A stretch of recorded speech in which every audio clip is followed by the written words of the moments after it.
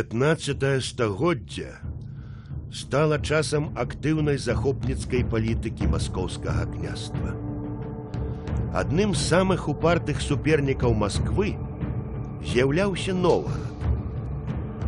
Шукаючы падтрымкі, наўгародцы звяртаюцца да вялікага княства літоўскага з прапановай увайсці ў склад нашай дзяржавы. Моцныя антымаскоўскія настроі існавалі ў наўгародскай рэспубліцы ўжо працяглы час. Этаму спрыялі даволі шчыльныя культурныя і гандлёвыя стасункі з заходняй Еўропай. А таксама тое, што Ноўгарад не спазнаў татарскага іга і таму захаваў свой вечавы лад. Фактычна, гэта была іншая цывілізацыя, дэмакратычная, заснаваная на прынцыпах народа ўладдзя. Пра гэта сведчыць нават старажытны герб горада з выявай вечавай трыбуны і жэзла ступеннага пасадніка. У раннім сярэднявеччы на ўсходзе Европы а, існавала тры этна і дзяржава утваральных цэнтры полацак Кіев і Новгород. Вялікай трагедыяй для ўсіх трох сталася з'яўлення праз некалькі стагоддзяў чацвертага цэнтра Масквы якая не мела аніякіх дэмакратычных вечавых традыцыяў і як толькі умацавалася адразу заявіла аб прэтэнзіях на суседнія славянскія землі. Першай ахвярай агрэсіі Масковіі сталася Новгарадская рэспубліка. Калі маскоўскі князь Іван III пачаў называць наўгародскую зямлю сваёй вотчынай, яе жыхары ўстрывожыліся. Усім было зразумела, чакаць падпарадкавання сілай доўга не прыйдзецца. Тады погляды наўгародскіх баяраў і скіраваліся на захад. Антымаскоўскую партыю ачольвала ўдава гарадскога пасадніка Марфа Барэцкая і яе сыны Хведар і зміцер. Не хочам за вялікага князя маскоўскага, Маскоўскі князь вялікія многія крыўды і няпраўды над намі чыніць. Такія выказванні часцей чуліся на наўгародскіх вечавых соймах.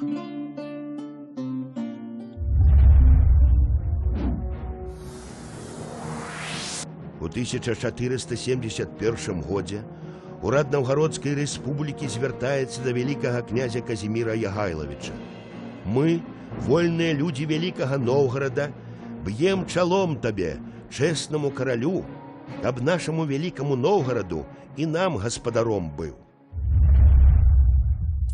Выказваючы свой намер далучыцца да вялікага княства літоўскага, Марфа барэцкая і яе аднадумцы ставілі толькі два патрабаванні: захаваць праваслаўе і ўласную прававую сістэму. Гэтыя патрабаванні не выклікалі ніякіх аспрэчванняў з боку вялікага княства, дзе большасць жыхароў была праваслаўнай і афіцыйна падтрымлівалася права вольных месцаў. Марфа барэцкая это рэдкі выпадак, калі жанчына пакінула такі яркі след у гісторыі гэтай часткі Еўропы ў 15 стагоддзі. Яркая асоба, таленавітая жанчына, грала выбітную ролю палітыцы сваёй дзяржавы ці вяліка Новгорада. Дарэчы, гэтым адметнасць Новгорада ад Масквы. У той час там кабета ввогуле не магла існаваць на палітычнай сцэне адкрыта, бо арыстакраткі маскоўскай дзяржаве трымаліся пад замком і нават на вуліцу не маглі самыя выходзіць. Вось Марфа барэцкая здаўна блізка пры ўладзе, муж быў пасаднікам і наўдава пасадніка яна атрымала спадчыну все багацці все палітычныя тыя заданні і прыярытэты яна разумела што вільня гэта свабода яна выбрала вільню партыя тых багацейшых людзей не толькі багацейшых людзей людзі которые жылі дзякуючы гэтаму ладу которые мелі нейкую маёмасць бралі вільню і падштурхоўвалі вяліка князя літоўска казіміра для таго каб ён новгород прыняў. Нават дэкляравалі сябе грамадзянамі падданымі вяліка княства літоўскага каб вымусіць казіміра іх абараніць ад москвы Нягледзячы на тое, што ўжо нават быў распрацаваны адпаведны праект дамовы, Казімір не спяшаецца з далучэннем Ноўграда да беларуска-літоўскай дзяржавы.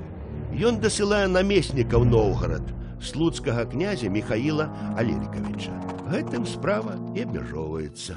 Іван III, які ўважліва сочыць за сітуацыяй, робіць свой крок.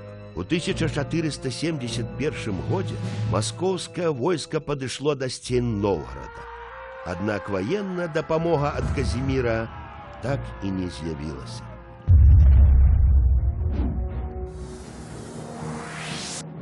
У 1471 годзе у бітве на рацэ Шалоне без чаканай падтрымкі наўгародскае апалчэнне пад ачолам зміцеры барэцкага было разбітае маскоўскім войскам.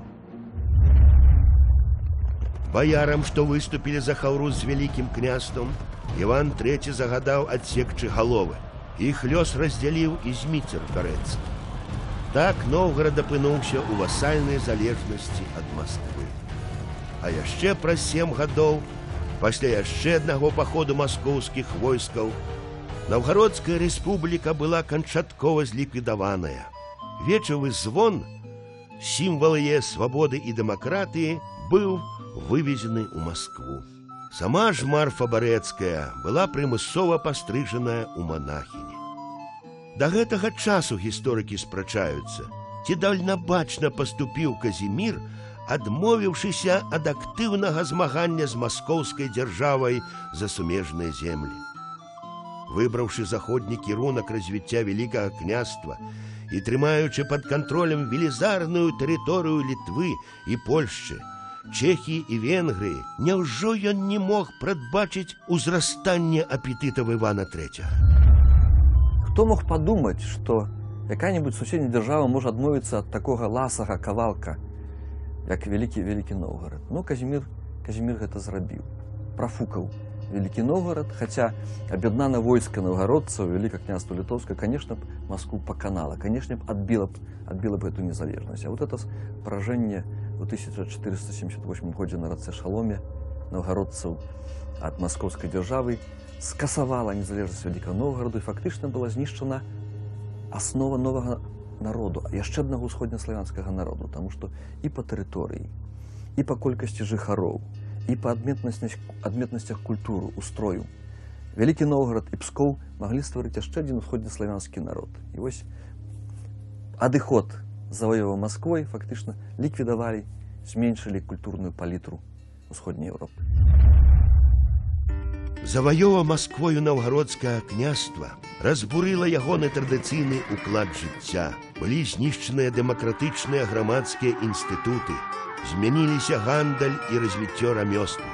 Новград станавіўся часткай будучай маскоўскай дзяржавы.